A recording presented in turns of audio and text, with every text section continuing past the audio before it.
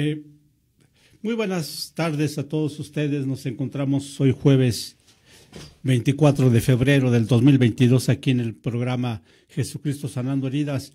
Eh, para mí es un gusto estar nuevamente con ustedes. En, eh, pedimos que nos apoyen en la oración para nos este, nuestra, hermana ah, Ariana Olvera Fragoso, que se encuentra un poquito delicada de salud. Sabemos que Dios la va a sanar, pero esta tarde vamos a empezar este hermoso día. Eh, me han llegado muchos comentarios en cuestión a la página de, de seminario. hermanos que están preocupados por lo que está sucediendo en los países eh, del norte como Rusia y Estados Unidos y están alarmados y están rogando a Dios que esto cese, rogando a Dios que esto termine, rogando a Dios que, que Él ponga los, la paz, pero yo creo que estamos haciendo mal malas decisiones. Le por qué, porque Mateo 24, 6 habla de todo esto y dice que es necesario que todo esto acontezca. Entonces nosotros como cristianos no podemos ir a Dios que pare la guerra y que pare el hambre. No es necesario que esto acontezca para que los tiempos de Dios se den a conocer. Entonces yo le digo a los hermanos de, del seminario que están preocupados, que se preocupen por sus familias, que se preocupen por sus vecinos, que se preocupen por los que están cerca de ellos, que los de, de aquel lado, pues ya Dios, Dios, Dios sabrá qué hacer. En esta hermosa tarde, siendo las eh, doce del día con minutos, voy a leer la palabra de Dios en el nombre del Padre, del Hijo del Espíritu Santo. Dice así la palabra. Aconteció también que un día pasaba Eliseo por Sunén y había allí una mujer importante que le invitaba insistentemente a comer a que comiese y cuando él pasaba por allí venía a la casa de ella a comer. Ella le dijo a su marido, He aquí ahora entiendo que este que este que siempre pasa por nuestra casa es, es varón santo de Dios. Te ruego que hagamos un pequeño aposento de paredes, pongamos allí una mesa, una silla, un candelero, para que cuando él viniese a nosotros se quede, se quede allí en él. Y aconteció que un día vino por él, vino por ahí, y, y aconteció un día que vino él por allí y se quedó en aquel aposento y allí durmió. Entonces dijo, Jesse, su criado, llama a esta sudamita, y cuando la llamó, vino ella delante de él, y dijo entonces a Jesse, dile, he aquí, tú has estado solícita por nosotros con todo este esmero, ¿qué quieres que haga yo por ti? ¿Necesitas que hable yo por ti por el rey o al general del ejército? Ella respondió, no. Eh, ella respondió, yo habito en medio de mi pueblo Dice, y, y le dijo, ¿qué pues haremos por ella? Y Esi respondió, he aquí que ella no tiene hijos y su marido es viejo. Y dijo entonces, llámala. Él la llamó y ella se paró a la puerta y le dijo, el año que viene, por este tiempo, abrazarás un hijo. Ella dijo, no, no, señor mío, varón de Dios, no haga burla de, de tu sierva. Mas la mujer concibió Ah, y dio a luz un, un, niño del año siguiente y en el tiempo que Eliseo le había dicho. Eh, y el niño creció, pero aconteció que un día que vino su padre que estaba con él con los segadores y dijo a su padre, ay, mi, ay, mi cabeza, mi cabeza. Y el padre dijo a un criado, llévenselo a su madre. Y habiéndole él tomado y traído a su madre, estuvo sentada sobre sus rodillas delante, y estuvo sentada, y estuvo, y, él habiéndole tomado y traído a su madre, estuvo sentado en sus rodillas hasta el mediodía y murió. Ella entonces subió y lo puso sobre la cama del varón de Dios, y cerrando la puerta se salió. Llamando luego a su marido, le dijo, Te ruego que me envíes conmigo alguno que de de los criados de las, y una de las asnas para que yo vaya corriendo al varón de Dios y regrese. Él dijo, ¿para qué vas a verle? Hoy no es luna nueva ni día de reposo. Ella respondió, en paz. Después hizo enaltezar una asna y dijo al criado, guía, guía y anda, no hagas entender en el camino, sino cuando yo te dijere. Y partió pues y vino al varón de Dios al monte Carmelo, y cuando el varón de Dios le vio lejos a su criado Jesse, he aquí que la tsunamita te ruego que vayas ahora corriendo y recíbela. Y dijo, ¿te va bien a ti? ¿Te va bien a tu marido? ¿Te va bien a ti? Ella dijo bien. Y luego que llegó a donde el varón de Dios estaba en el monte, se, asió a sus pies y se acercó a Jesse para quitarla, pero el varón Dios le dijo, déjala, porque su alma está en amargura. Jehová ha encubierto el motivo de su amargura. Jehová ha encubierto el motivo y no me lo ha revelado. Ella dijo, pedí un hijo a mi señor no dije que yo no te burlases de mí. Entonces dijo a Jesse, ciñe tus lomos, toma un báculo en tu mano y ve, y si alguno encontrases, no lo saludes, y si alguno te saludares, no le respondas. Pon el báculo sobre el rostro del niño. Y dijo la madre del niño, vive Jehová y vive tu alma, que no te dejaré. Entonces se levantó y le siguió Jesse y había ido adelante de ellos y había puesto el báculo sobre el rostro del niño, pero no tenía voz ni sentido. Así se había vuelto para encontrar a Eliseo y se lo declaró diciendo, el niño no despierta. Y viéndolo Eliseo, y venido Eliseo a la casa, he aquí que el niño estaba muerto tendido sobre su cama. Entrando él entonces cerró la puerta tras ambos y oró a Jehová. Después subió y se tendió sobre el niño, poniendo su boca sobre la boca de él, y sus ojos sobre los ojos, y sus manos sobre las manos suyas, y así tendió sobre él, y, y el cuerpo del niño entró en calor. Volviéndose luego, se puso a la casa una y otra parte. Después subió se tendió otra vez Después subió y se tendió sobre él nuevamente y el niño desnudó siete veces y abrió sus ojos. Entonces llamó a Jesse y le dijo, llama, llámala, está su damita y a él la llamó. Entrando ella le dijo, toma a tu hijo. Así que ella entró y se echó a sus pies y se inclinó a tierra. Después tomó a su hijo y salió. Vamos a hacer una oración para que Dios nos hable a través del Espíritu Santo en esta hermosa tarde. Padre, en esta hermosa tarde, tú sabes, tú conoces, Dios mío. Queremos que tu palabra no vuelva vacía, Señor mío. Queremos que tu palabra hable a los corazones, por favor. Gracias, Padre. Te bendecimos ahora y siempre.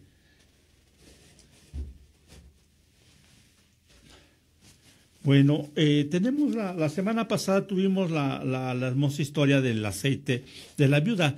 En esta hermosa tarde vamos a analizar un poco lo que es Eliseo y, y esta mujer llamada la Tsunamita.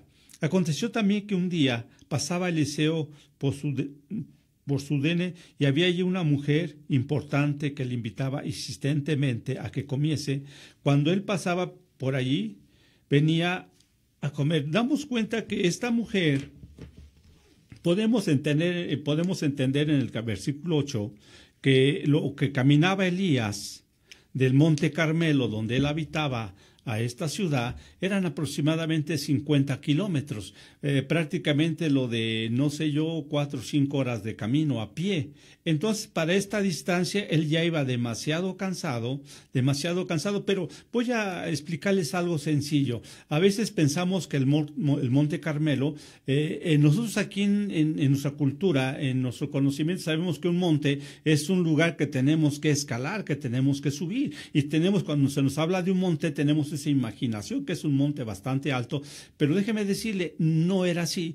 Eh, eh, donde, él, donde estaba este hombre eh, era un monte, pero era plano planicio. Me tocó a mí estar en Chetumal la semana pasada y me dijeron, oiga, pastor, lo invitamos al monte.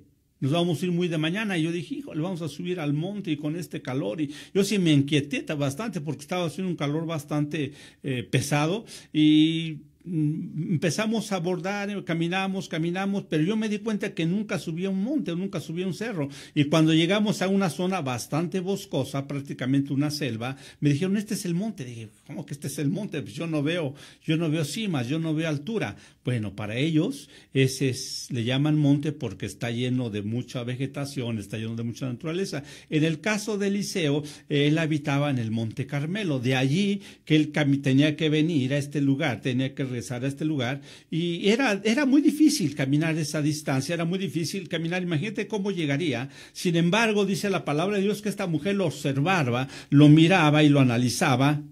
Y, dice que esta mujer número uno era una mujer mucho, muy importante. O sea, no era, no era una vecina cualquiera, no era una mujer simple, no, no era una mujer demasiado importante, pero bastante importante, y le rogaba, y le rogaba una y otra vez, una y otra vez que fuera a su casa, y él rehusaba. Él rehusaba este, llegar a ese lugar, él rehusaba eh, sentarse a la mesa con ella. Muchas veces eh, a nosotros nos ha pasado, ¿no? Que el eh, pastor lo invito a desayunar, y pastor lo invito a comer, y pastor lo invito a cenar, y a veces tenemos que decir que sí, a veces decimos que sí, a veces decimos que no, pero aquí en el asunto de Eliseo, esta mujer bastante importante le rogaba a él, bueno, ¿quién era Eliseo para que una mujer bastante importante se atreviera a rogarle, oye, pasa a mi casa, oye, pasa a mi casa, pasa a mi casa, puesto que era una mujer importante, ya no tenía la necesidad de, de, rogarle a este hombre. Eh, tenemos un rasgo del profeta Eliseo, sabemos que era un hombre de rostro no sé, con cara de amargura, eh, un hombre serio, eh, un carácter, en la cara se, refleja el carácter. Entonces, eh, no, era un, no era un hombre, no era un varón así de, de, alegría, de, de, como digamos, un varón así de, de amistad. Era muy seco en su carácter. Bueno, dice el versículo 8, estamos allí, dice, y él, y cuando él pasaba por allí, venía a la casa de ella a comer. Bueno, qué hermoso es, ¿no? Después de tanto rogale, él pasaba a su casa a comer. Yo recuerdo este hermoso pasaje, ahorita viene a mi mente cuando estábamos allá en Ciénega Larga, un pequeño lugarcito que está escondido en el Real del Monte. Eh, ese pequeño lugar eh, está Está lleno de brujas, está lleno, lleno de gente que hace brujería, gente que hace maldad. Y yo recuerdo, tenemos una vecina allí que, gracias a Dios, ella empezó a acercarse a la iglesia, se empezó a acercar a la iglesia. Y, pues una ocasión me dijo, oiga, eh, lo invito a comer.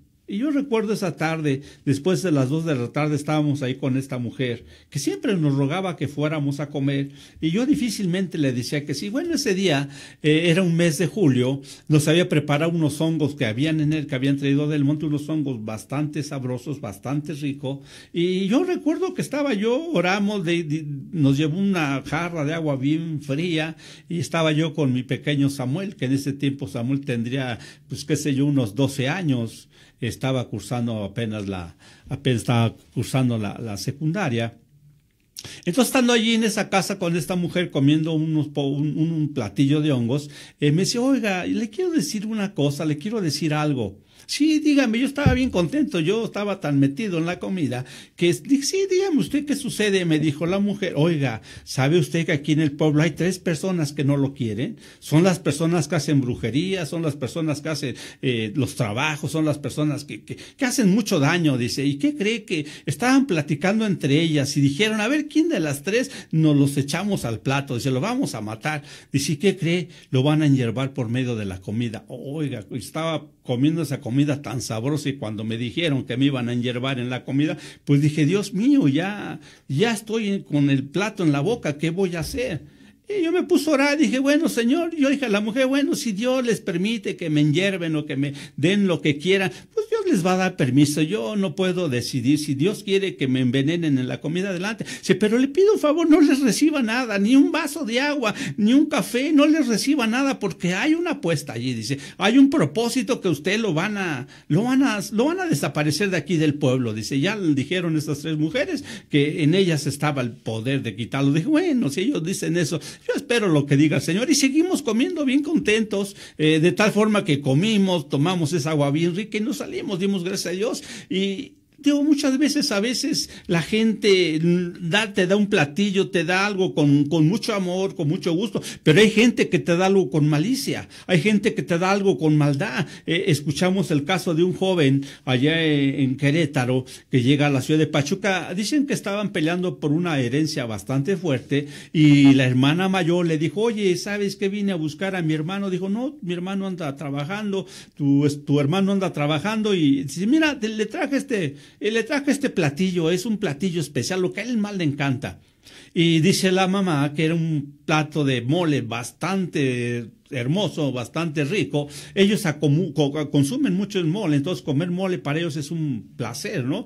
Entonces eh, agarró el plato, lo puso sobre la mesa, eh, ahí lo dejó, pero cuando ella se dio cuenta, el joven de 10 años, el niño de 10 años, sin querer fue, se empezó a comer ese plato y a partir de allí, ese niño perdió el habla, ese niño perdió, perdió el sentido de llorar, eh, su vida se hizo amarga, y gritaba a medianoche, aullaba, y era una cosa tremenda. Pasaron 18 pasaron ocho años y, ellos andaban buscando eh, quién les podía sanar, quién les podía ayudar en este trabajo.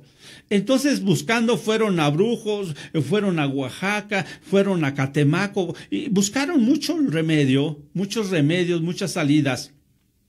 Pero deja decirte, en una ocasión llegan Ángela Peralta, eh, la iglesia donde estábamos trabajando, y me dice, oiga, es que ya, ya no tenemos dinero, vendimos la propiedad, vendimos todo, ya andamos batallando. Dije, mire, no se preocupe, vamos a hacer una oración, vamos a hacer un ayuno de 24 horas. Recuerdo que en ese lugar había un equipo de oración no voy a nombrar los jóvenes porque eran muchos los jóvenes que eran jóvenes de oración y ellos se propusieron, oiga, ¿qué le parece si ayunamos 120 días? ¿Qué le parece si oramos? Adelante, empezamos a orar, empezamos a ayunar, empezamos a orar, empezamos a ayunar. Y este muchacho llamado Efraín, de acuerdo, se llamaba Efraín, no podía llorar.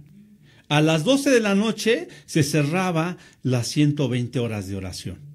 Y estando haciendo la oración, dijimos, bueno, gracias Padre porque hicimos esta oración, gracias Padre porque hicimos este ayuno, gracias Padre porque hicimos este compromiso contigo. Y sabemos que tú no nos vas a dejar, sabemos que lo que tú estás para para sanar, tú estás para curar y recuerdo que esa noche eran ya casi las tres de la mañana en esta oración, en esa búsqueda, empezamos a orar por Efraín, empezamos a orar por Efraín, empezamos a orar por Efraín. Y una cosa eh, eh, hermosísima, Efraín empezó a llorar. Ocho años que no había llorado, ocho años que no había sacado nada de su boca, empezó a hablar, empezó a hablar, empezó una cosa estupenda, una cosa maravillosa. Lo que hizo Dios con este muchacho, quedó libre quedó libre de esa comida que le habían dado, de, esas porquerías que le habían dado en la comida. Y pocos años después me comentaron que a Efraín lo encontraron trabajando en el banco, que estaba detrás de una caja. Dije, ¡ay Dios mío, ¿cómo es posible que este muchacho ya esté atrás de una caja? Bueno, Dios sabe lo que hace y sabe con quién lo hace. Bueno, seguimos en el tema. Y ella le dijo a su marido, he aquí ahora entiendo que este que siempre pasa por nuestra casa es un varón santo de Dios. Eh, a veces nosotros o a veces la gente nos tiene que analizar, nos tiene que, nos tiene que estudiar, nos tiene que observar para ver qué observa en nosotros. Tal, tal vez haya una mala imagen de nosotros, tal vez haya un mal comentario de nosotros, pero dijo esta mujer, ahora entiendo que este que pasa por nuestra casa es un varón santo de Dios. O sea, lo que yo pensaba antes ya no es lo que yo pensaba, lo que yo creía ya no es. Y a veces mucha gente tiene esa mala imagen de nosotros, tiene ese mal mal sentido de nosotros. Pero ¿qué pasa cuando empezamos a convivir? ¿Qué pasa cuando empezamos? Oiga, es que yo pensé que usted era así, es que yo pensé que usted era así. Y, dice, oh, yo usted muy diferente a como me habían dicho. bueno, eh, yo recuerdo un vecino, ya, ya no está con nosotros. Este hombre, donde quiera que me encontraba, me decía, pastor, Dios lo bendiga, pastor, Dios lo bendiga. Si iba en la combi, me gritaba, Dios le bendiga. Si estaba en la tienda, me gritaba, Dios le bendiga. Era un hombre que deseaba saber de Dios. Era un hombre que tenía la necesidad de que uno le precara de Dios. Pero donde quiera yo me lo encontraba, me decía, pastor, Dios lo bendiga, pastor, Dios lo bendiga. ¿Por qué? Porque un día, un día nos pusimos a platicar, un día nos sentamos a platicar, ah, pastor, con razón yo lo veo que siempre anda usted de traje, con razón siempre lo veo que, ah, no, no, felicidades, tomó una buena profesión. De allí él quitó esa imagen que tenía de, de que, quién, era, quién era yo, quién era, quién era mi persona, ¿no? Y esta mujer le dice a su marido, ahora entiendo que este que que pasa por este lugar es un varón santo de Dios. La gente te tiene que analizar, la gente te tiene que observar para poder hacer algo claro. E, el sábado, estando en una junta allá en la ciudad de Puebla, hay dos pequeños que me tocó presentar hace cuatro años. Uno se llama Emanuel, otro se llama Isaías. Son dos gemelos digamos cuates o gemelos, eh, nacieron el mismo día con unos segundos después. El caso fue que uno de ellos, yo, yo, me senté en el lugar de la asamblea, no me moví para nada hasta las cinco que terminó la asamblea, me senté en medio de los pastores y estuvimos este, celebrando, festejando, eh, haciendo mucha, muchas cosas hermosas. Y este pequeño, no sé yo en qué momento me observó, yo no sé en qué momento me analizó. El caso fue que como allá a las nueve de la noche ya se acercó a mí y me dice, mire, y hacía las manos como yo.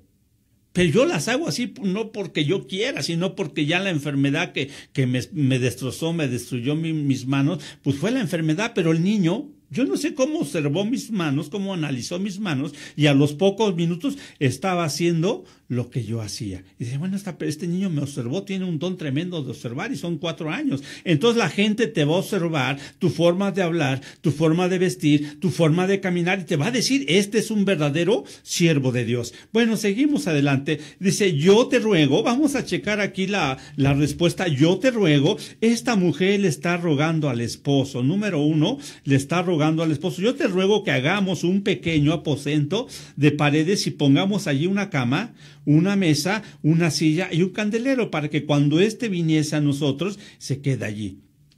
¿Cuántas veces yo me, he encontrado que cuando llega un pastor a una casa, a un lugar, pues la familia dice, no, no, no, no, pastor, quédese en mi recámara. No, no, pastor. Y ahí empiezan a pelear dónde se va usted a dormir, dónde se va usted a quedar. Lo, eh, lo hermoso es que esta mujer simplemente le dice, le ruega a su esposo, vamos a hacer un aposento, vamos a hacer un pequeño departamento y ese departamento lo vamos a amueblar. ¿De qué manera? Vamos a poner una, ah, vamos a poner una silla, vamos a poner, dice número uno, una cama, una mesa, una silla y un candelero para que cuando Él pase se quede aquí. Qué hermoso que esta persona, sin tener ninguna necesidad, sin tener ningún compromiso, agarró y dijo, voy a servir al siervo de Dios. Esto, esto llama, esto llama y me enseña a mí que hay personas que se desviven por uno, hay gente que por uno eh, es capaz de dejar su cama, es capaz de hacer muchas cosas por nosotros. Esta mujer estaba haciendo prácticamente lo mismo con Eliseo.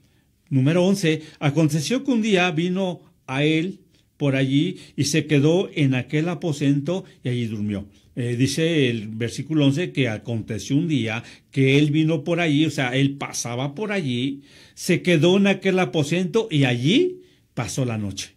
Prácticamente este varón de Dios allí pasa la noche. Dice eh, 12. Y entonces dijo a su criado, y así, su criado llama a esta, a tsunamita. Cuando la llamó, ella vino delante de él. Viene la mujer, se pone delante de, Eliseo, 13, y dijo, e, entonces a ese, dile, he aquí, tú has estado muy solicita por nosotros con todo este esmero.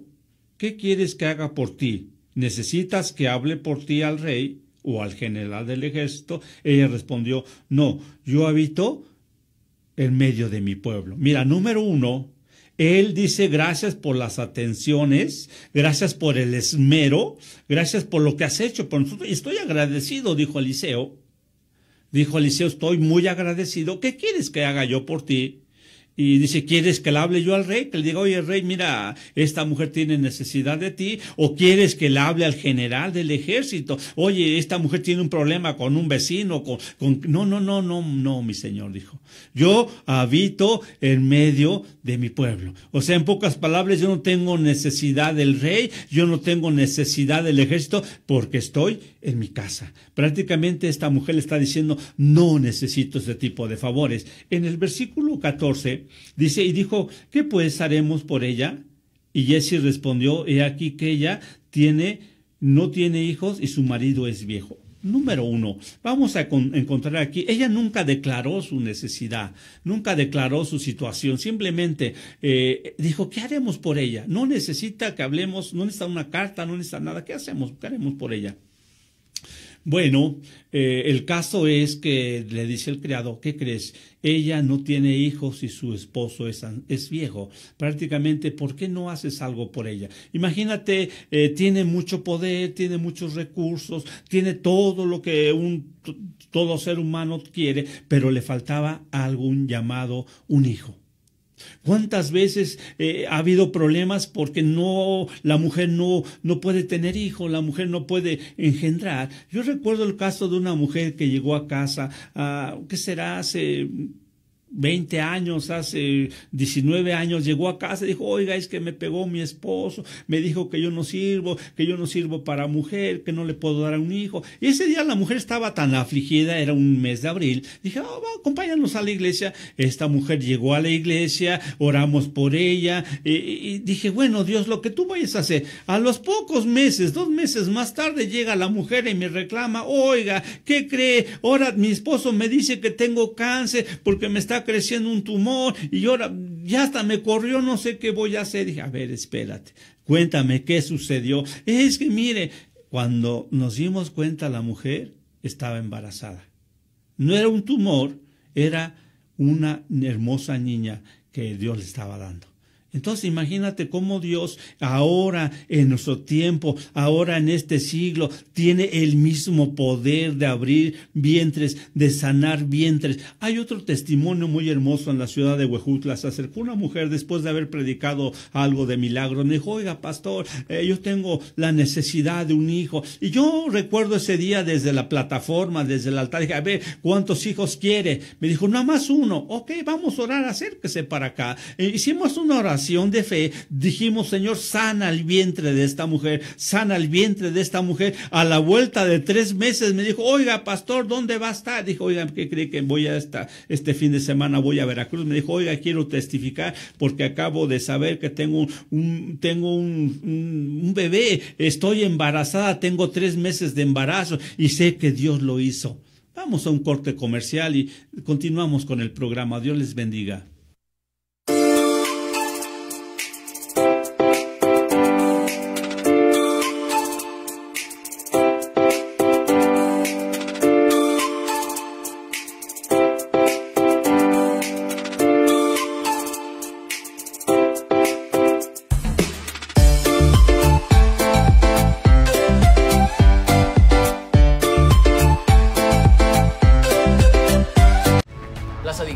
Ser el otro rival a vencer, pero un verdadero atleta puede superar cualquier adversidad, y más aún apoyado de su familia. El deporte es el mejor camino para superarse en la vida. Un verdadero campeón pone fuera de combate a las adicciones, por eso no hay que bajar la guardia. Con razón y corazón, por toda la nación, juntos por la paz. Tu amigo Saúl El Canelo Álvarez.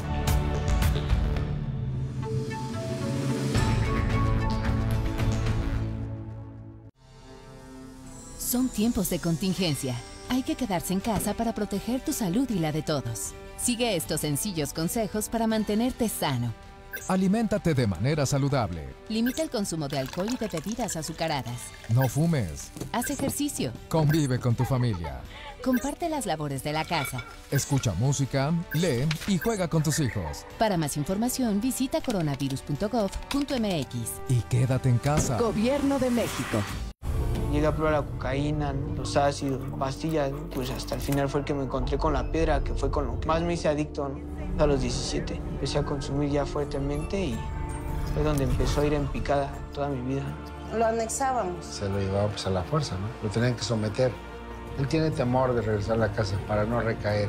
Esto es un martirio que a nadie se le desea en verdad. El mundo de las drogas no es un lugar feliz. Busca la línea de la vida. 800-911-2000. Total, voy a ser policía. Le saca uno la verdad a las personas, como sea, de guacanazos a meterles la macana eléctrica. Éramos los halcones. Creí que era un bebedor social y que podía dejar de beber cuando yo quisiera, ¿no? Y no fue así. Perder familia, tocar un fondo de sufrimiento muy cabrón, de esos delirios visuales, ver cómo me comía las arañas, los alacranes. El mundo de las drogas no es un lugar feliz. Busca la línea de la vida. 800-911-2000. Fumaba mucha piedra. Pues no siento nada. Nada más se me olvidan las cosas. Porque no me gusta el ambiente. No me gusta. A veces me quiero morir. Me quiero morir. Creo en Dios, sí. Mucho. Le pido por todos los de la calle, por la gente, ¿no? Por mi familia, ¿no? por mis hijos, que los cuide mucho. El mundo de las drogas no es un lugar feliz. Busca la línea de la vida. 800-911-2000. Esta época nos ha mostrado que, como buenos mexicanos, de una u otra manera, pero salimos adelante. Que improvisamos, como sea. El chiste es seguirle. Que aún guardando distancia, seguimos bien unidos. Porque tu negocio no se detiene, hoy lo más seguro es cobrar con CODI desde tu celular. Así, nos cuidamos y apoyamos como buenos mexicanos. CODI, desarrollado por el Banco de México. ¡Sentenciado! ¡Termina el partido! ¡Victoria a los Dodgers! Mientras tu sueño siempre está en tu mente y luches por ella, pase lo que pase y las cosas se logran siempre. Le doy un buen ejemplo a mi familia, obviamente el mantenerme activo haciendo un deporte es importante. ¡Son los campeones 2020! Sería la forma más correcta de tener a un niño ocupado haciendo un deporte. Contra las adicciones, juntos por la paz. Me siento confundido. Ya no tengo oportunidades. Nada es como antes. Extraño a mis amigos. Estoy desesperado. Me siento muy triste. Atrapado. Atrapada. Nadie me escucha. Nadie me entiende. Esta situación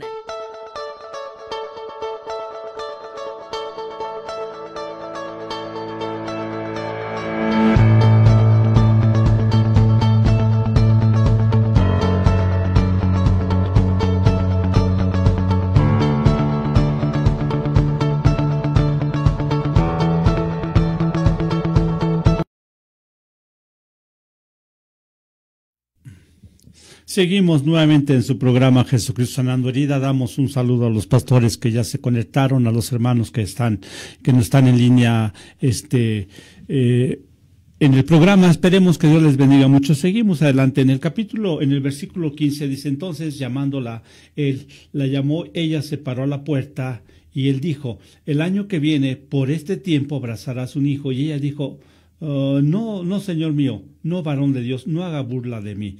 Eh, ella se sintió tal vez ofendida, tal vez pensando, ¿cómo es posible que yo voy a tener un hijo si mi esposo ya es viejo? ¿Cómo es posible si mi vientre está cerrado? Eso no es posible, pero ella lo tomó como una burla, lo tomó como que una ofensa. Muchas veces cuando le decimos a la gente que Dios la puede sanar, que Dios puede hacer un milagro, a veces la gente rehúsa creer. A veces la gente le cuesta trabajo creer porque dice, ¿cómo es posible? Yo recuerdo hace un poco de tiempo llegó mi padre y me dijo, oye, vamos a orar por este varón. Este varón tiene sida.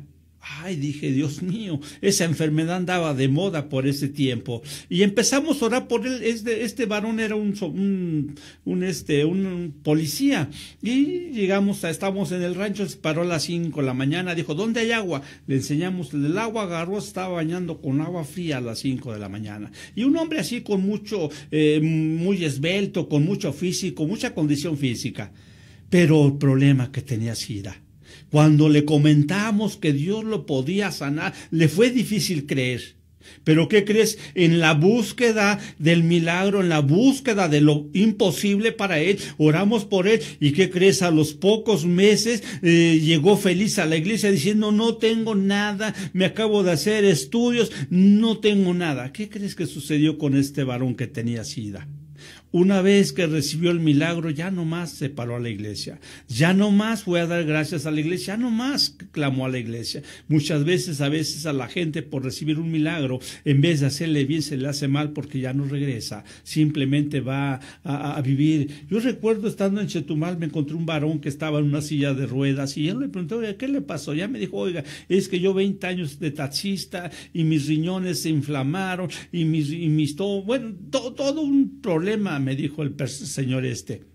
Dice, pero ¿qué cree? Un día me dijo, me dijo el pastor, vamos a orar por usted y vamos. Yo sabía que estaban orando por mí, que estaban pidiendo a Dios. Me vi en la necesidad de hacer un análisis. Cuando yo llego a recoger los estudios, me dicen, no, ya señor, usted no tiene nada. ¿Cómo qué pasó? ¿Quién sanó ese riñón? ¿Quién lo cambió? ¿Quién lo mudó? No sabemos. Lo que sí sabemos que Dios hizo un milagro. Le dijeron los médicos, ¿y qué cree que hizo este varón? Cuando se dio cuenta que ya no tenía ese problema llamado el riñón, llamado el problema de... agarró y se fue corriendo, agarró el coche y se fue a trabajar. Dice, oiga, es que cuando Dios hizo el milagro yo no supe darle el conocimiento a él y volví a caer a la silla de ruedas.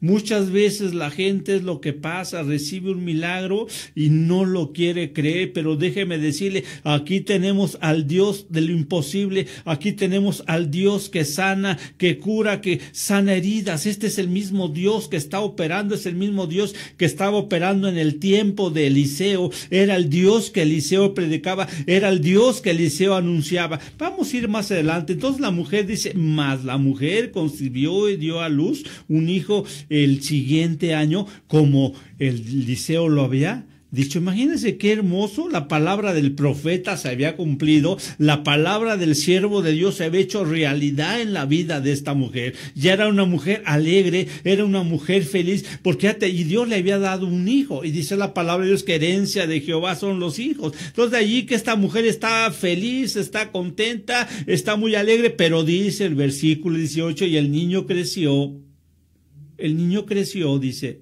pero aconteció un día que vino a su padre que estaba con los segadores y dijo a su padre, ay mi cabeza, ay mi cabeza, y el padre dijo al criado, llévenselo a la madre. Vamos a, a analizar esto. Este pequeño Imagínate el consentido del papá, eh, el hijo ideal, eh, lo que ellos habían estado deseando, lo que ellos habían estado buscando, estaba allí. Pero un día el padre se fue muy de mañana a cegar con los segadores. El pequeño eh, dijo a su padre, ay mi cabeza, ay mi cabeza, y el criado y el padre dijo, lléveselo a la madre. Imagínate estando en el campo, ¿qué sería? Yo no tengo idea ni el término médico para saber qué tipo de enfermedad sería este, qué tipo de dolor sería. Estando en el campo empieza, no aguanto la cabeza, no aguanto la cabeza, me duele mucho la cabeza. Bueno, el criado dice, y habiendo tomado y traído a su madre, estuvo sentado en sus rodillas hasta mediodía. ¿Por qué me atrevo yo a decir que era muy de mañana? Porque la gente del campo a las 5 o 6 de la mañana ya andan laborando, ya andan en su labor.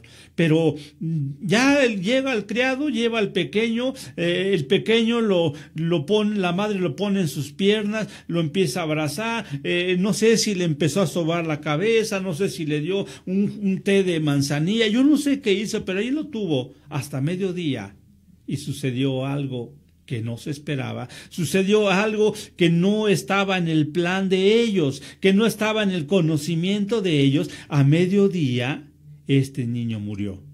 A mediodía murió. Entonces ella subió y lo puso sobre la cama del varón de Dios y cerrando la puerta tras sí, cerró. Fíjate, en su necesidad, en su angustia, en su, en su clamor, no va, a, no va al brujo, no va al adivino, no va al esposo, no va con el mejor médico de la ciudad. Su niño ya está sin vida, su niño ya está muerto, ya está sin sentido. Ella va directamente directamente a donde estaba la cama del varón de Dios, la cama donde este siervo de Dios había posado, había descansado en su necesidad, supo a quién ir, supo a quién acudir y allí vemos a esta mujer y el pequeño acostado en la cama donde había servido a Eliseo.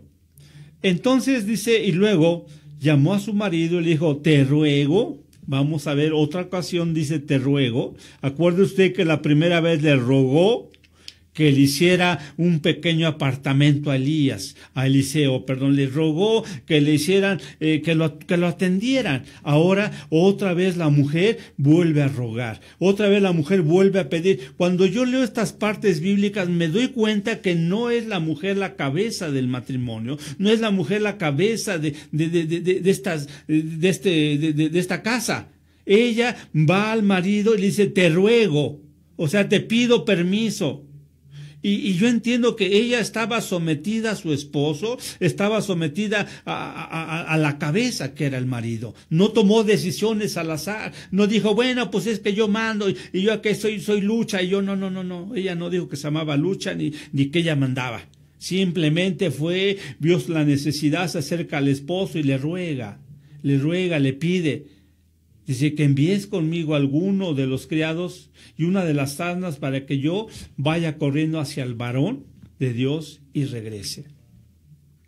El hombre no le cuestionó a dónde iba, qué iba, y, dice el 23, y él dijo, ¿para qué vas? ¿Para qué vas a verle? Hoy, dice, no es luna nueva, no es día de reposo, y ella respondió, en paz. Este hombre conocía los calendarios, este hombre conocía las fiestas, este hombre conocía el culto a Dios, sabía cuándo era luna llena, sabía cuándo era día de reposo, sabía todo. Pero él no impidió que su esposa fuera al varón de Dios. Hay, hay, hay, esposos que conocen la Biblia al revés y al derecho. Hay esposos que conocen, han escuchado la palabra, pero no quieren nada en su corazón. Sin embargo, tampoco impiden que la mujer vaya a la iglesia. Entonces este, este, este, esta mujer sale con el, ya con la, aprobación del esposo, y dice el 24, y después hizo enaltezar la asna y dijo a su criado, guía, anda y no hagas detén en el camino, sino cuando yo te diga, o sea, dijo, mira, no te detengas por nada, tú corre y corre, corre, cuando yo te diga detente, ahí te vas a detener, detener. Y partió pues y vino al varón de Dios al monte Carmelo, decíamos donde habitaba el profeta Eliseo en el monte Carmelo. Y cuando el varón de Dios la vio de lejos, dijo a su criado Jesse, he aquí la sudamita, te ruego pues que vayas corriendo a recibirle y le digas, ¿te va bien a ti? ¿Te va bien a tu marido?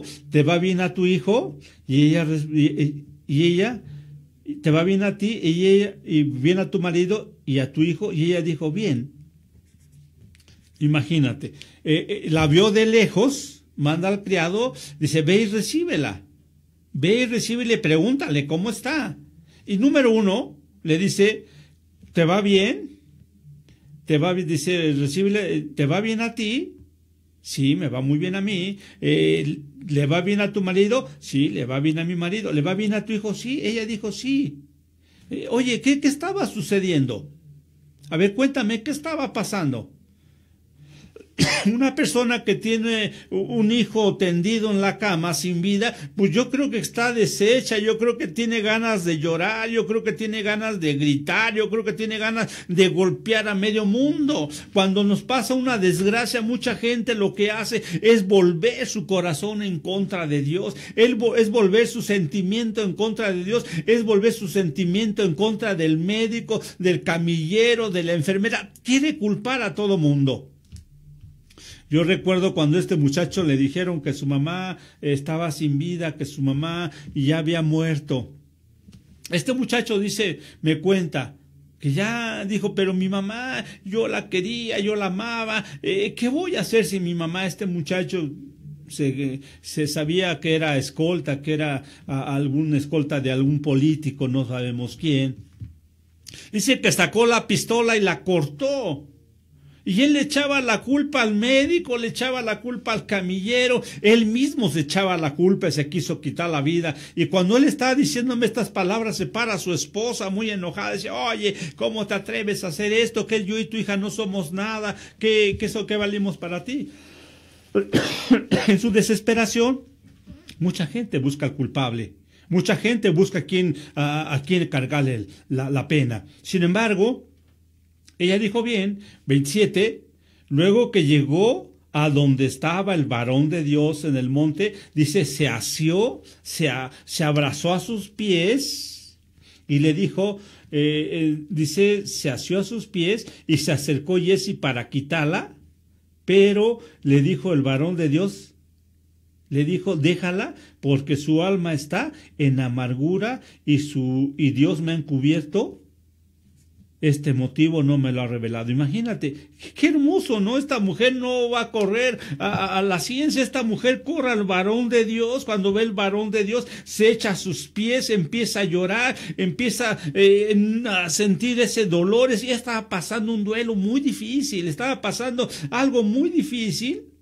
Sin embargo, en su necesidad, supo que la respuesta estaba en Dios, supo que la respuesta estaba en el varón de Dios, corrió a la persona ideal. ¿Por qué cuando llegó Jesse no le dijo, oye, ¿qué crees que mi hijo acaba de morir? ¿Qué crees que yo estoy así? No, ella supo a quién ir. A veces la gente en su necesidad va y dice, oye, manita, ¿qué crees? Ando sin trabajo. Oye, manita, oye, comadre, no he comido. Oye, comadre, no tengo para la renta. ¿Y qué crees que pasa? Ni te para tu renta, ni te dan para tu comida, simplemente se ríen de tu dolor. Entonces tú no vayas a pedir consejo a una gente que no te va a, que no te va a apoyar. Ve y pide a consejo a alguien que tiene palabra, a alguien que te puede apoyar. Sin embargo, esta mujer fue y pidió consejo a quien tenía el poder, a quien tenía la, la autoridad de dar esto. O adelante seguimos leyendo. Dice, porque Dios no me lo ha revelado, pero esta mujer estaba llena de amargura. Ella lloró, su, se despejó, eh, ya no... Y a veces cuando llega la gente y dice, es que yo no sé qué hacer, mi papá acaba de morir, es que yo no sé, no hermanita, no llore, no hermanita, ¿por qué llora si ya está con el Señor? Si, ¿Por qué llora si ya está en el cielo? Bueno, tú dices eso porque no era tu papá, tú dices eso porque no lo querías, tú dices eso porque ni sabías cómo era, pero para mí que era mi papá, cuando me dijeron que mi papá estaba, uy, Dios mío, tenía ganas de llorar, porque era el duelo era mío. Y sin embargo, ¿quién se ponen a dar consejos? Cuando, no, porque llora, hermana, ya está con el Señor, ya está en mejor vida. Sí, pero ¿qué crees? Que el duelo que nos deja, ese dolor que nos deja, va a ser difícil de sanar. Por eso estamos en su programa Jesucristo sanando heridas. Y, y vamos más adelante, y ella dijo, pedí un hijo a mi Señor, y me dijo, no se burles de mí. Entonces dijo a Jesse, ciñe tus lomos, toma el báculo en tu mano y ve, y si alguno te encontrare, no lo saludes, y si alguno te saludares, no respondas.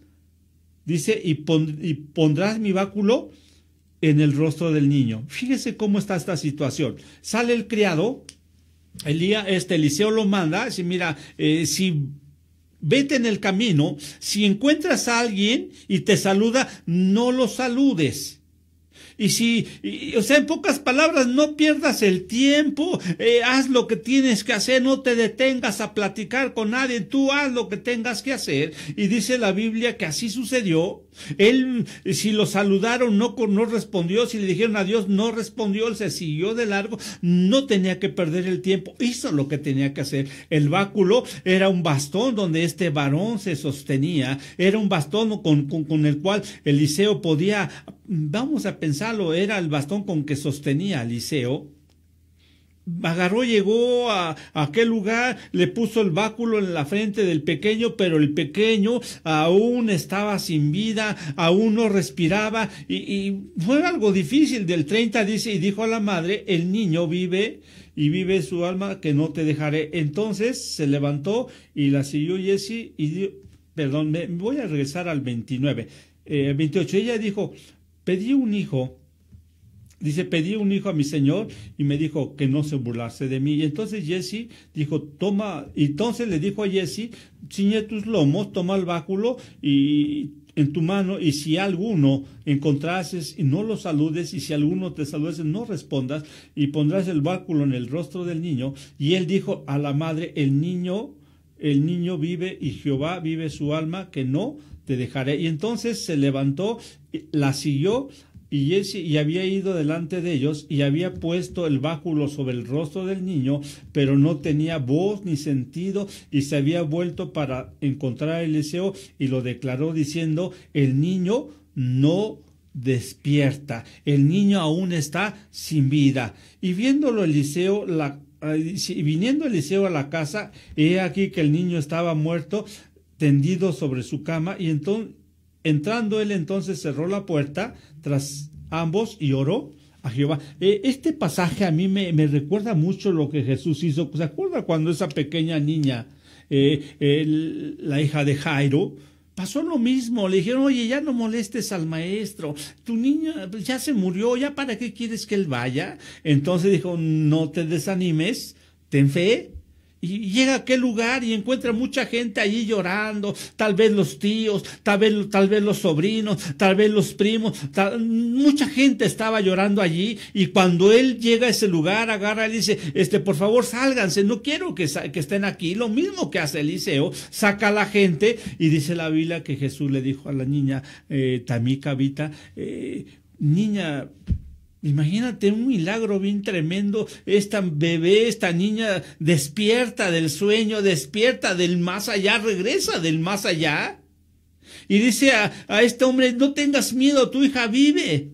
Entonces cuando tú te atreves a creerle a Dios, las cosas van a suceder. Cuando te atreves a confiar en Dios y tú sigues orando porque Dios sigue haciendo milagros. Estando con una persona ayer me dijo, oiga pastor, pero es que Dios está haciendo milagros. Sí, los va a seguir haciendo. Solamente necesitamos fe, solamente necesitamos creer. Otra persona me dijo, oiga pastor, yo tenía una deuda tremenda en el banco, yo debía mucho dinero. Yo dice, ¿cuándo voy a acabar? ¿Cuándo voy a acabar de pagar? Y yo por más que me esforzaba, por más que yo trabajaba, yo no podía, yo no podía, pero cuando usted dijo, vamos a orar por las carteras, vamos a orar por las cuentas de los bancos, yo dije, yo soy de aquí, yo soy de aquí, yo creo, yo creo, y que crea la vuelta de 20 días, mi deuda quedó pagada, mi deuda quedó saldada y aún me quedaron 30 mil pesos porque yo le creí a Dios. Entonces cuando la gente le cree a Dios, pasan cosas maravillosas, pasan cosas cosas grandes, pasan cosas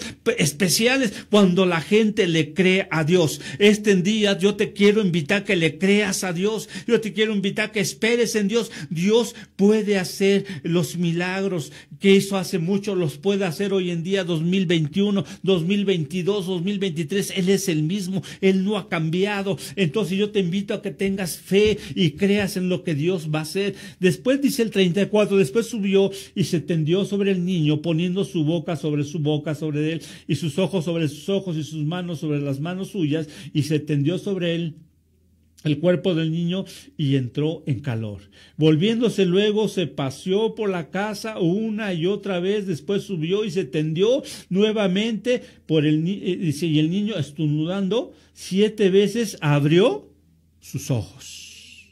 Siete veces el niño empezó a estornudar, eso estaba diciendo que estaba tomando aire y tomó una vez, dos veces, siete veces, a las siete veces sus pulmones empezaron a racionar, sus pulmones empezaron a trabajar porque Dios estaba haciendo un milagro de resurrección. Dios estaba haciendo un milagro que volvía a la vida este pequeño. Entonces llamó a Jesse. Dice, entonces llamó a Jesse y a la tsunamita la llamó y entrando ella le dijo, toma a tu hijo. Y así ella entró y se echó a sus pies y se inclinó a tierra después, tomó a su hijo y salió. Qué hermosa palabra. Ella cuando ve esto no va corriendo al pequeño, no lo abraza, no lo carga, no hace nada, simplemente se echa otra vez, echa los pies del varón de Dios, le dio las gracias, le agradeció lo que había sucedido porque había recibido un milagro. Yo recuerdo un milagro de una pequeña niña que tenía leucemia. La mujer muy angustiada me dijo, es que ¿qué va a decir el sacerdote? Es mi compadre, ¿qué va a decir si me ve con ustedes? Me va a decir que ya soy brinca para atrás, yo no sé qué hacer. Y sabe qué, ella fue a la iglesia, oramos por la niña y la niña sanó de ese problema llamado, ese, ese problema que tenía en la sangre. Ella, ella sanó, ella fue sanada, pero el problema de ellos es que cuando la niña sanó, sanó de leucemia, ellos fueron a dar gracias a la Virgen María. Ellos acudieron a la basílica y el milagro se espumó. Cuando tú recibes un milagro, cuando tú recibes una sanidad, tienes que venir a Jesús, que es el que te sana, que es el que te salva, que es el que te perdona. Y si esta tarde que tú estás en casa, que estás a través del internet, a través de tu teléfono, a través de cualquier medio, no importa dónde estés, no importa la enfermedad que tenga, no importa la situación que estés viviendo, Dios quiere sanar tu vida, Dios quiere sanar tu familia, Dios quiere restaurar tu matrimonio. Así te voy a pedir que cierres tus ojos, eleves una oración de fe y digas, yo creo, yo creo, yo creo, y va a ser un milagro. Dios, en esta hermosa tarde, declaramos un milagro de sanidad, declaramos un milagro, Señor, toda enfermedad enfermedad, toda dolencia, malestar, así se llame COVID, así se llame SIDA, así se llame diabetes, así se llame cáncer, queda cancelado en el nombre de Jesús. Toda cuenta bancaria queda cancelada en el nombre de Jesús. Padre, por tu llaga fuimos curados y dice tu palabra que tú eres el mismo, que tú no has cambiado. Gracias, Padre, porque lo que te hemos pedido, tú lo vas a hacer, Padre, conforme a tu voluntad y conforme a tu, a tu voluntad otra vez, Padre, te damos gracias gracias, gracias porque este milagro va a tener vida, gracias porque esta necesidad resuelta en el nombre de Jesús. Las, las, las, las cárceles son abiertas en el nombre de Jesús para aquella gente que está sin, ningún, sin ninguna culpa, aquella gente que está allí apresada sin ninguna situación. Señor, te pido que quede libre esta tarde en el nombre de Jesús toda, toda enfermedad, los hospitales, esas almas que están, que están gimiendo, que están pidiendo, Señor, yo pido que lleves sanidad a ellos en el nombre de Jesús. Gracias, Padre amado. Gracias, mi Señor. Seguimos, seguimos con ustedes, Jesucristo, sanando heridas. No olvide no olvide marcar a la estación, estamos en el 59 32 91 58, estamos aquí en la estación Radio Voz, la voz, la voz del Evangelio. Eh, nos despedimos del programa Jesucristo Sanando Herida y enseguida continuaremos con el programa Seminario Teológico Gamaliel. Dios me le bendiga mucho, los esperamos el siguiente jueves. Dios esté con usted y esperemos que haya recibido un milagro. Créalo y será hecho. Dios le bendiga. Hasta pronto.